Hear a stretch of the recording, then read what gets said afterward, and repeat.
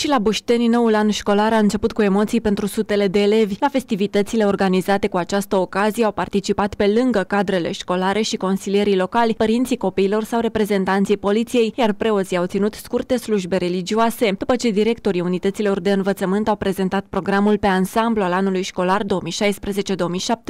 elevii au mers în clase alături de învățători și diriginți, unde au găsit manualele pentru anul în curs, dar și mici surprize. În stațiunea Bușteni funcționează trei școli generale cu clasele 1, 8 și un colegiu.